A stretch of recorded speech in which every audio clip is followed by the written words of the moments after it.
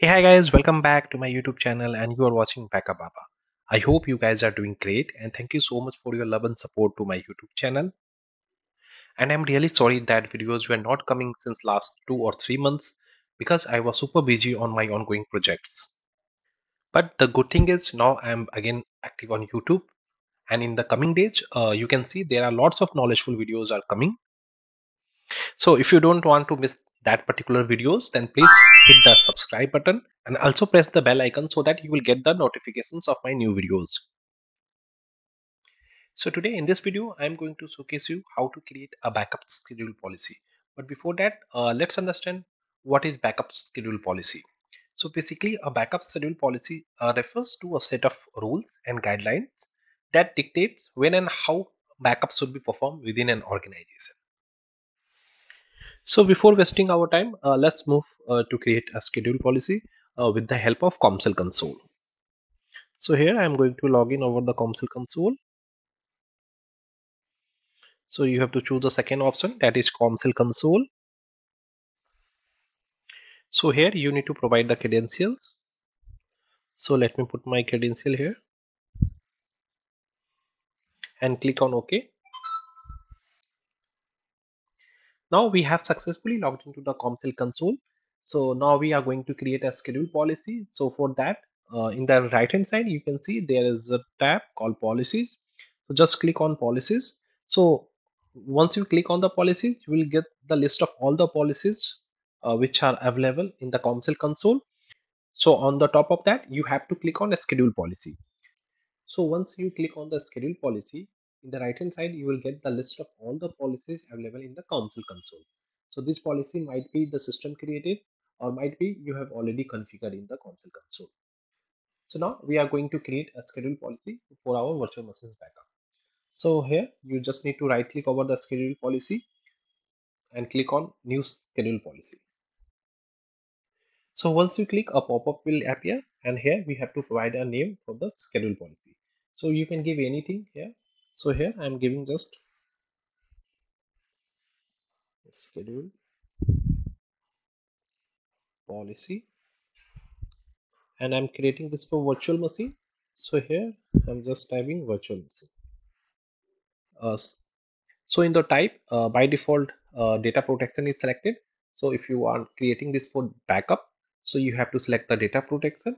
And uh, if you are planning to uh, create a schedule policy for your secondary copy or backup copy or content index and all then you have to choose the options from the list. So here i'm keeping the data protection only.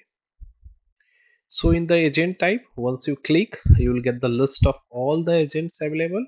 So you have to select that particular agent uh, for which you are going to create this schedule policy. For in our case suppose we are going to create this, this for virtual machines. So here we will type virtual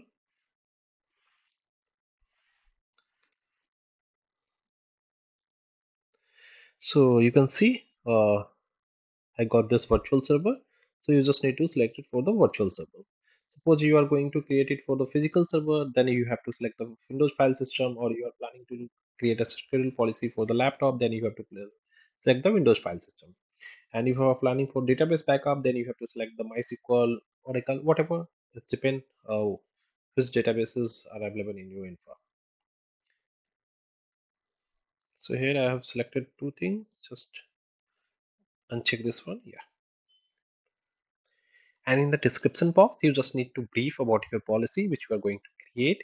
So that will definitely help your subordinates uh, in case you are not available. So he she can just uh, click on the policy and get an idea like what you have created here so i am providing virtual machine for production. So same like uh, just need to write here as per your convenience. So once you provide the description basically the description is an optional one. So it's depend upon you that you want to write or not. Once you complete the description you just need to click on add. So once you click add a pop-up will appear. So here in the backup type uh, there are multiple options full incremental differential and synthetic. So it's depend like what you are going to plan for your infra. So in my case i have selected full backup and in the next step it's called schedule pattern. So just click here. So here the schedule name i'm going to write a schedule name. So here i am typing monthly full. So i'm going to uh, create a policy for my virtual machines that will help to take the back full backup on a monthly basis. So here i'm select going to select the monthly. So in the monthly firstly you have to provide a time like at what time the backup will start. So in so i'm keeping a default so in the next option uh, there is you can see uh, there are two options available uh, day wise or you can also specify the date wise so here we will go with the day wise so here i'm selecting like on every uh, first of month uh, my full backup will get triggered. And if you want to repeat the full backup on some time period like if you want to repeat on every eight hours then you just have to select it here. So i'm not going to uh, repeat it because i'm going to take the monthly backup on the monthly basis only. So just unchecking this one. Now here i'm clicking on ok.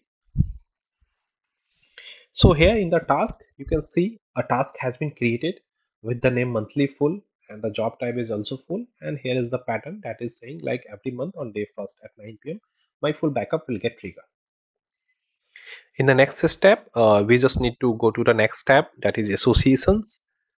Once you click on the association tab you will get the list of all the servers available. On that uh, you have to choose like for for which server uh, you want to associate this policy. So in my case i'm going to select uh, this CommServe virtual server. So here. Now after doing that just i'm clicking ok so once you click ok you can see our policy has been appeared here which we have created just now. So this is how guys you can create multiple policies as per your workloads. Or if you do not want to create multiple policy then there is an option of clone also. So you just need to right click here click on clone. So once you click on clone a pop-up will appear. So so here you just need to provide a new name uh, with the new descriptions and also you have to change the schedule policy. So just click on edit and uh, pattern. If you want to change the pattern suppose in the second policy you want to go with the second of that particular month then you just need to select in here. Click ok. And suppose here i'm going to provide a name. Schedule policy weekly so in the association you also need to change it from here. In the edit you just need to uncheck this one and select your new client and just click ok. So here you can see our new policies has been appeared here with the name schedule policy weekly.